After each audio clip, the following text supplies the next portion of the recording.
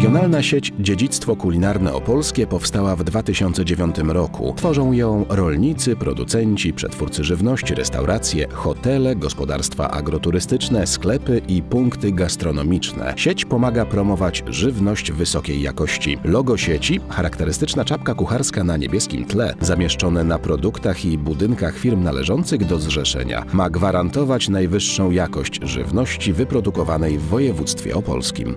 Głównym tutaj e, celem i zamiarem sieci jest promowanie regionu poprzez e, lokalne produkty, potrawy, nie tylko poprzez e, produkty wytwarzane przez wytwórców, e, poprzez sprzedaż tych produktów, ale też poprzez restauracje, które swoje dania przygotowują na bazie lokalnych surowców. 13 marca 2018 roku w hotelu Spałka w Kluczborku odbyło się doroczne spotkanie członków sieci Dziedzictwo Kulinarne Opolskie. Po warsztatach poświęconych budowaniu silnej marki opolskich członków sieci, Antoni Konopka, członek zarządu województwa w imieniu marszałka Andrzeja Buły, wręczył zebranym certyfikaty przedłużające członkostwo w sieci. Kilku nowych członków otrzymało potwierdzenie przystąpienia do regionalnej sieci Dziedzictwo Kulinarne Opolskie. Dziedzictwo kulinarne opolskie 2018, gospodarstwo rolne piekarnia doktora Milko.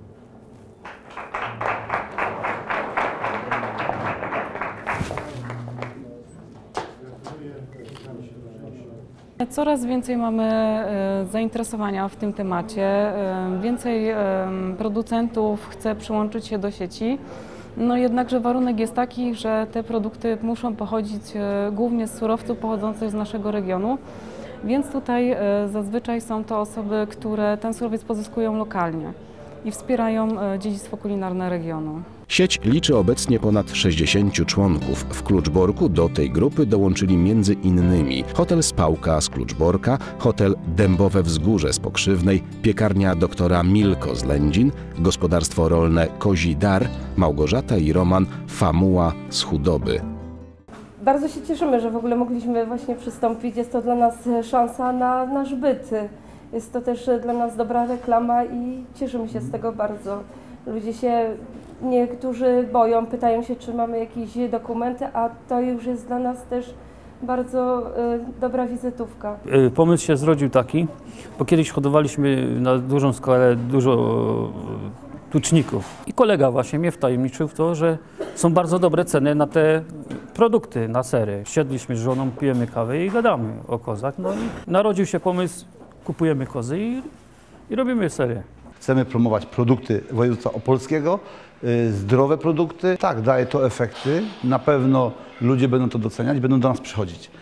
Robimy to z pasją y, dla ludzi. To uważam, że to jest przyszłość i jakby e, przede wszystkim identyfikacja i gwarancja produktów wyjątkowych.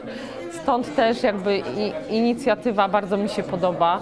Sami też zabiegamy o produkty naturalne wytwarzane w naszym hotelu, więc uważam, że idealnie się wkomponowujemy w założenie. W czasie spotkania członkowie sieci serdecznie podziękowali za lata współpracy Marioli Szachowicz, zastępcy dyrektora Departamentu Rolnictwa i Rozwoju Wsi Urzędu Marszałkowskiego, która szczególnie wspierała sieć Kulinarne Dziedzictwo Opolskie, a w związku z przejściem na emeryturę kończy pracę w Urzędzie Marszałkowskim. Życzymy przede wszystkim dużo, dużo zdrowia, satysfakcji yy, z, teraz z tego wolnego czasu, którego Pani będzie miała bardzo dużo i po prostu wszystkiego najlepszego.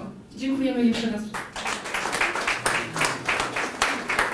Członkowie sieci, dziękując pani dyrektor, zapewniali, że będą dalej rozwijać jej kulinarną inicjatywę, która teraz wyróżnia województwo i spowodowała, że smaki regionu stały się marką kojarzącą się z wysokiej jakości zdrową żywnością i śląską tradycją kulinarną. Program zrealizowano we współpracy z Urzędem Marszałkowskim Województwa Opolskiego. Program sfinansowała Fundacja Ludzie, Środowisko, Ekologia.